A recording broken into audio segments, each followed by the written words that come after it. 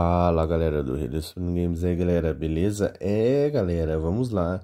Parece que realmente nós vamos ver de novo a cara do nosso querido inimigo Toshi. É isso aí galera, sim, vamos ter um Review and Stuff oficial nessa próxima semana, sim.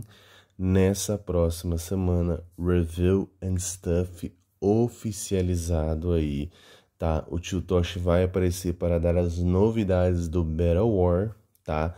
A máquina de dinheiro nova dele, tá?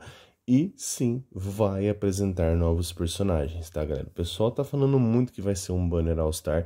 Eu também acredito que ele não vai tacar outro LF agora com 17 Tom Cruise aí, tá? É, foi como nós conversamos nesse último vídeo que a gente fez agora, que eu falei aí, do Dia dos Namorados. Então eu acho que ele vai seguir sim essa linha de raciocínio, tá?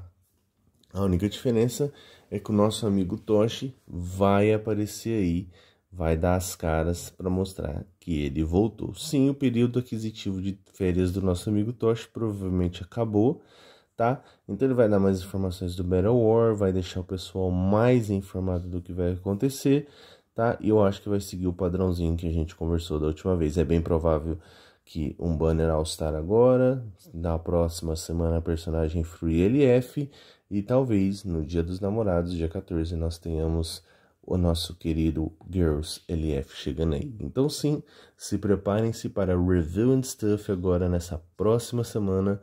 Toshi voltando, novidades, Battle War, será que ele vai falar das mudanças do Legends?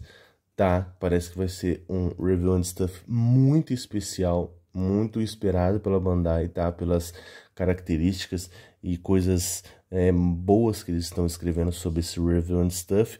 Os ânimos vai para as alturas. Agora é, será que o Toshi teria capacidade de mandar outro banner LF com já estando aí?